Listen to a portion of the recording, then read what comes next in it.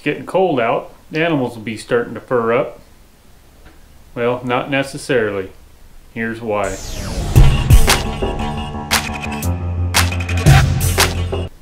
Alright guys, welcome back to a new season.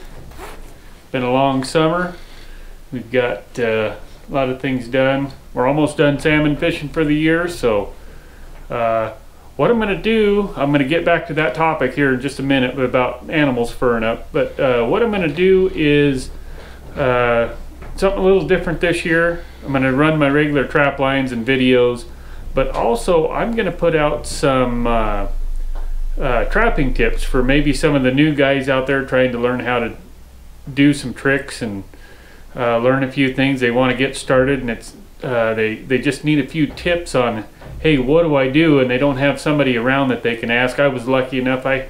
I had my dad when I first started trapping. I still have him around. He still gives me all sorts of good pointers. So, uh, but some people don't have that. So I'm going to see if I can put out a few good tips for you. I'm going to do a, a weekly video on tips.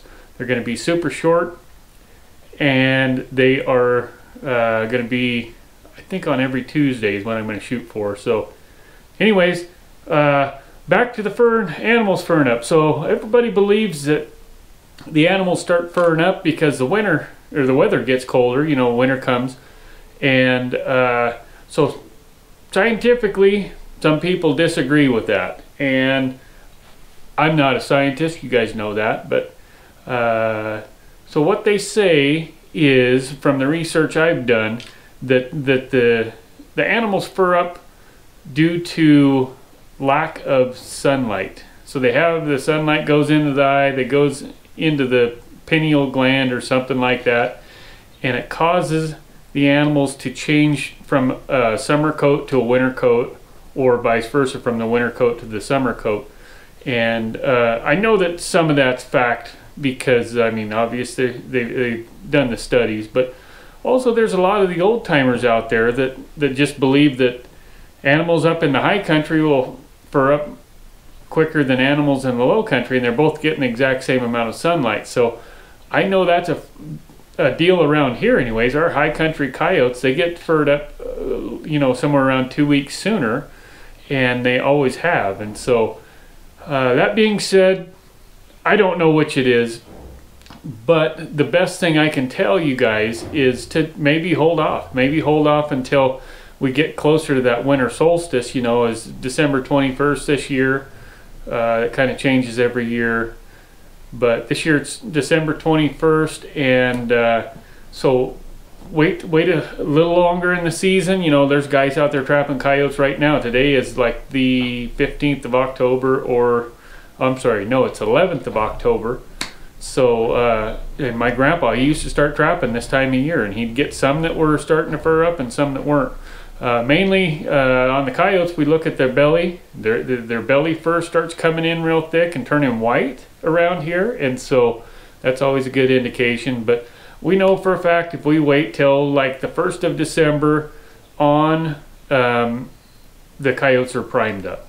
They could fur up a little sooner than that, and it all depends on your area. So uh, later in the season, uh, later in the fall is is always better than earlier in the fall. You'll get a lot of blue pelts, uh, blue hides otherwise, so that are worth a little less money. So, anyways, a little quick little deal about that. Uh, my advice is do the research yourself, but in the end, it doesn't really matter. You just kind of need to wait till the animals are primed up or or getting there before you start going after them. There, you only get that animal one time, so might as well get the most money out of them.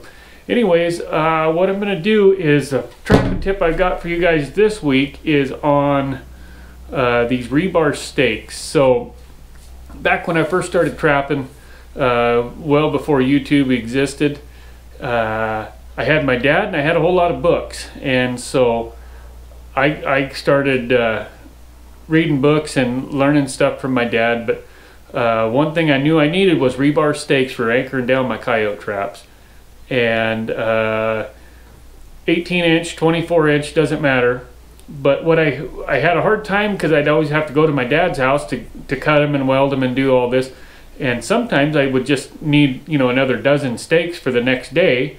and to go run out to my dad. This is when I was a young guy. Run out to my dad's and cut him. It might be a little more time consuming. So what I've what I've done is I came up with this idea, and if it already exists, uh, give credit to whoever already came up with it. I, I, did, I don't know anybody that came up with it, but uh, so uh, you can go to your like your local concrete supply store. Around here, we've got uh, I think we got like three or four of them. Let's see who this is. Business call. I'm not quite off the clock yet for the year, but um, anyways, we'll go to. We got three concrete supply stores, and they'll sell a number four rebar, which is half inch uh, they'll sell a number four rebar by 20 foot length or they'll sell it by the foot or they'll even cut it for you so that's the best option out there is to if you don't want to buy them from a trapping supply company and pay for the freight and all that uh, the cheapest way to do it is buy a 20 foot stick and then cut it whatever length you want or like i said have your, your concrete supply company cut it for you but what i've got i'm hanging out down here in the cabin is i've got one that's pre-cut just a number four. And then I've got a 5 8 coarse thread washer.